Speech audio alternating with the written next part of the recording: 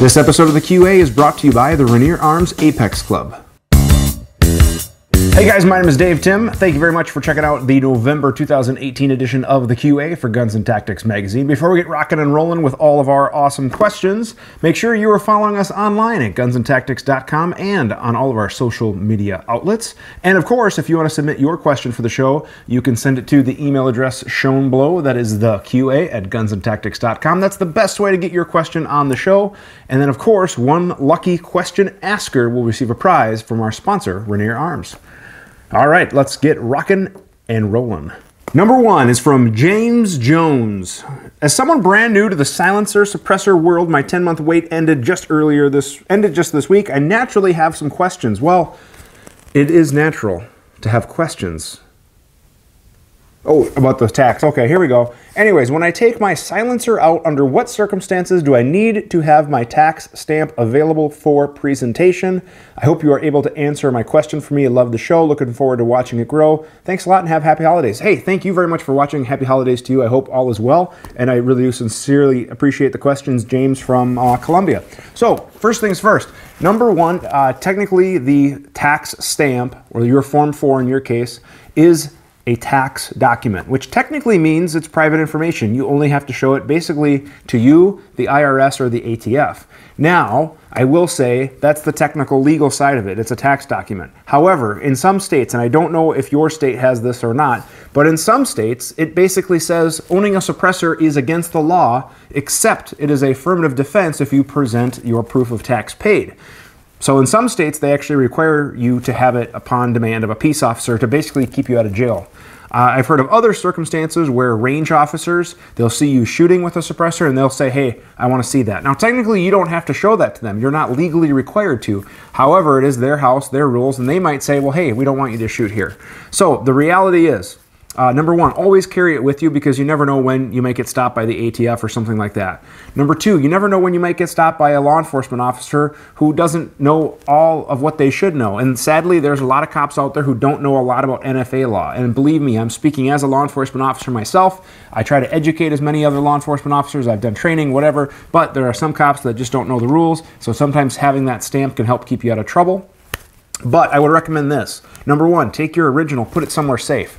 Number two, make copies of that so you can have a hard copy with you. I have a copy of all my stamps in my range bag, plus I have a digital version on the cloud that I can access on my phone, on my tablet, whatever it might be, so I can have it with me, whatever. And if you're worried about certain information, nothing says that you can't redact a little bit of personal information from a copy, you know, like home address, whatever it might be that you don't want to share, and that way you could show that to range people or whatever it might be. Because I understand your home address, where you keep your items, you don't necessarily want that you know floating out there anyway. But under no circumstances would i let anyone make a copy of my tax stamp whether that be a local range or anything like that for sure no. And i've heard some ranges saying hey we want to have a copy of your stamp on file. No. Not going to happen. So hope that answers the question. All right number two. Uh, this is from christopher. Love your channel love the channel wanted to quickly ask what brand paint pen you use to mark your rifles and set screws with Great question. I use the Sharpie. Um, I use these guys right here. Uh, it's the Sharpie brand oil-based paint markers, and they come in all sorts of different colors. I mean, like literally, I have I have all sorts of different colors for all sorts of different projects.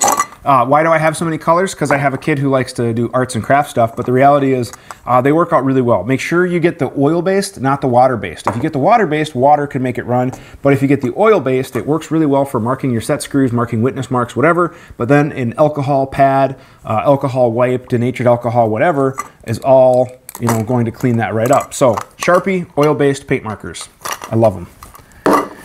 Number three, what boots do you recommend for someone who has to run in them? They must be black and take polish. This is from Quentin. Quentin, awesome to hear from you, man. It has been a long time, so I hope all is well. Um, that is a good question. Now, here's the thing boots are very subjective. What fits you may not fit me. What fits me may not fit you. So I'm, I'm going to say use a little bit of caution and do some review and some, you know, kind of re- do some reading, do some reviews, things like that. And ideally, if you can find a vendor that offers a grace period, uh, like a free return period or something like that, or at least free shipping both ways, that way you can try it on at home, walk around in carpet, and then send it back if it doesn't work out, that'd be ideal. That being said, I've really been happy with a pair of Danners that I have, and I was a, a long time Danner fan. I used to wear their Acadias, and then I just found them heavy and clunky, and I went away from them to kind of more of the tennis shoe style boots. Um, I've tried Under Armours. I liked them for comfort. They were kind of like a sneaker. They took a polish. Uh, the downside is they did not come in a wide size, so I didn't like them as much but they were really comfortable, the Under Armour. And the other downside with the Under Armours is they just didn't hold up very long over time. Uh, I had to basically buy a pair every year. But now I'm also running a set of Danner. I want to say it's called a Kinetic, but it's a, a very comfortable boot. It's a high boot, takes a polish, very lightweight, flexible. So I've been impressed. Plus, they come in wide sizes. So those are kind of what I would, would look at. But the Under Armours, um, those were really comfortable and very shoe-like. So totally, totally able to run and things like that. All right, number four. I have a CZ SP01. Can you get a holographic green dot or red dot for this pistol? You must have to take off rear sight. Maybe cheers, Heath. Uh, well, maybe you do have to take off the rear sight. However, with that particular gun, I'm not aware of any like factory option that came with it. So with that one, you're probably going to have to look at getting it milled. So you'd have to send it off to a machine shop or a gunsmith that would mill the top of the slide to the footprint of the red dot you would prefer. Right now, I'm a big believer of the Trijicon RMR as being the toughest, most robust handgun sight on the market. So that's probably what I would recommend for you. Now that is our first half. Before we get into the second half, we do have to give a shout out to the Apex Club from Rainier Arms. For one low price of $99 a year, you get free ground shipping and an exclusive discount on all of your cool favorite new stuff from Rainier Arms. Now, Rainier Arms carries all of the cool stuff for AR-15s, but they're also expanding into precision rifles handguns, and more. So if you like it, if it's cool, if it's new, chances are Rainier Arms is going to have it, and you can get exclusive availability, discount pricing, and free ground shipping with all of your orders for Apex Club members. This could easily pay for itself within the first few orders. It's the big box awesome discount club prices with free ground shipping on all of your orders. What's not to love? The Apex Club from Rainier Arms. And of course, they are sponsoring this month's episode by giving away a prize, which we'll get to later. All right, number five. I have bifocals on my glasses, so I use the lower bifocal to see the sights on my gun, but then can't see much of a target. So maybe there are better sights on the market that address my issue with vision. And that one's from Jim. Totally legit question, Jim. Number one, uh, I did do a video at TriggerCon of a glasses company, and I'll try to find a link uh, if I can remember, but they actually had a separate lens or correction up at the top. So instead of you know shooting like this with bifocals, you could actually have more of a modern shooting stance and look through the top of the lenses. I thought that was a really cool idea. And then the rest of the uh, glasses, I think they offered in a prescription. So that was an idea that kind of popped in my head with this. Otherwise, yes, a red dot sight. And you didn't specify if it was handgun or rifle, but uh, a handgun, and I don't have one handy, but What's nice with shooting a handgun with a red dot is as you are on target, you are basically looking at your target. So you're focusing at target distance on the dots there. You're looking through the red dot at the target. Same thing with a rifle with a red dot as well. So I would definitely recommend red dot. And in fact, what I've been seeing with some students, especially those with aging eyes, uh, they've picked up the red dot on the handgun and they've liked it for a whole lot of reasons specific to their aging eyes versus me who's still luckily has good eyes even though both my parents don't. But uh, i just like the red dots. I think that I, I, truly now think it's the future. I've been running it hard for almost a couple of years now and it's just a great great sight system. I, there's a ton of advantages so i would check that out. All right number six. This is from ryan uh, I have an issue with a PMAG that is fully loaded with 30 rounds. It won't stay into my PSA lower. I have to take one round out so that it will stay in the lower. What could the issue be? Well, here's the thing. When we load a mag full, it doesn't give room for that spring to compress much. I'm positive if I had your rifle here, I could, you know, force that mag and it would stay in there, but it's difficult on a closed bolt. So here's what I recommend. Number one, load all of your 30 round mags to 28. Okay, that gives just a little bit of the room for the rounds to compress a little bit so you can come, uh, you can insert that mag on a closed bolt and it'll seat just fine. It just is good for the mags. It's it just 28. It's kind of industry standard. I know some instructors will say I load a 30 round mag to 30 rounds. They don't call it a 28 round mag. They call it a 30 round mag. Yeah, that's great. Good for you. Rock on. I load 28 because I like the little buffer that it 28 rounds gives me. I can insert it easily. I can do tack reloads. I can do whatever it is, and that's just fine. Now, Crazy enough, I heard of a small town police department, and no shame, I'm a small town cop myself, that loads their 30 round mags to 20 rounds and their 20 round mags to 10 rounds. Seriously, stop! This is just crazy. Just no. Load your 20s to 18, load your 30s to 28, and rock on. So that is what I'm guessing the issue is. You could look at adjusting your mag catch tension a little bit, but I really doubt that's the issue. Um, I would just load your 30 round mags to 28, and I'm guessing you're not going to have any problems.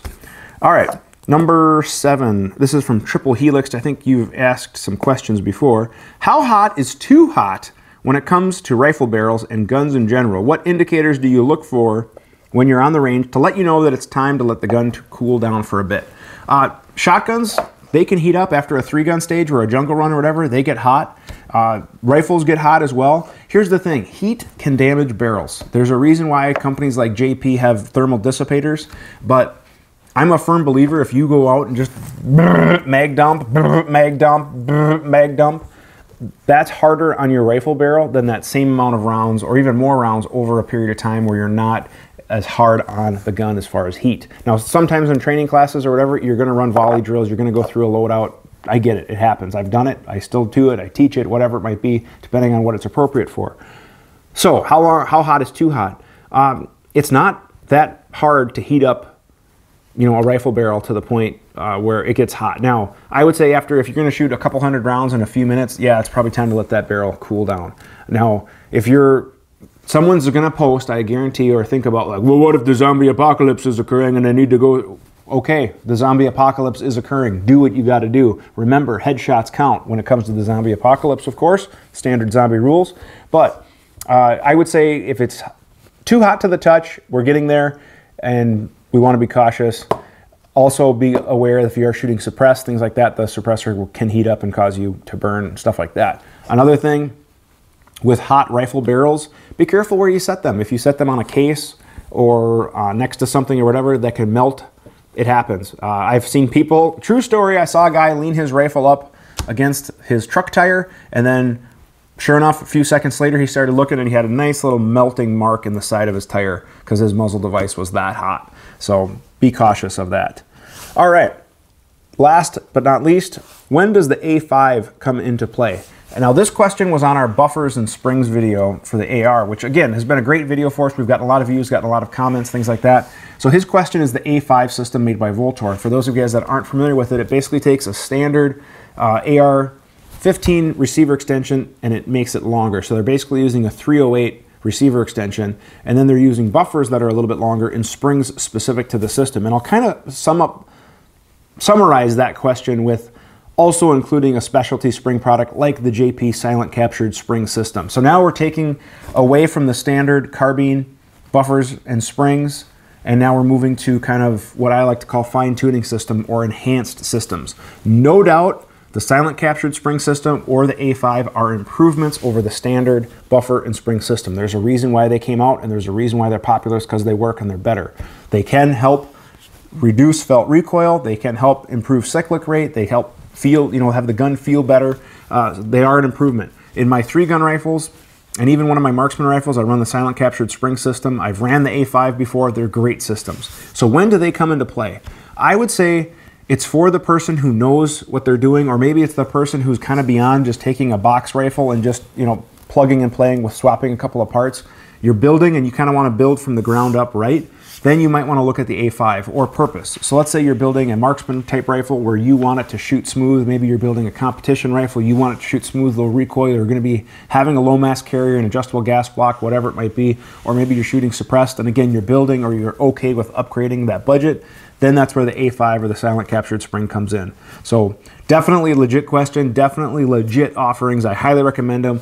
But again, for the average consumer who's going to take a rifle off the rack, add a light, add a sight, add a sling, and maybe look at swapping out a buffer, I would say it's probably not for them.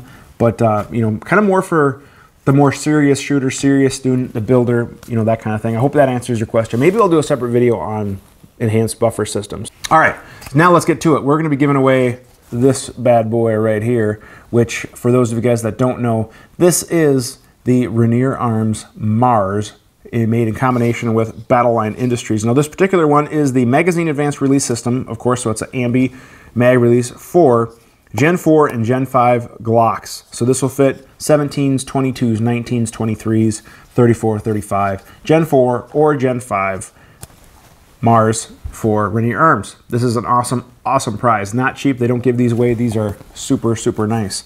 So let's do our random number generator. We had eight questions make it to the show, and we will give away our prize. All right, the random number was number two, which question number two was from Christopher uh, about the paint markers. So, Chris, hey, Chris, you know what? I'm even going to throw in a paint marker. You let me know. I think I have.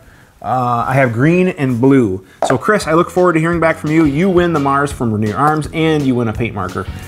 So, if you want to see your question make it to the show, please submit your questions to the email address shown below, the QA at gunsandtactics.com. That's your best way to get the question on the show. And again, one lucky question asker gets a prize thanks to our sponsor, Rainier Arms. Make sure you are subscribing to all of our social media outlets. If you've enjoyed this video, please hit that subscribe button, hit the share button, hit the notification bell.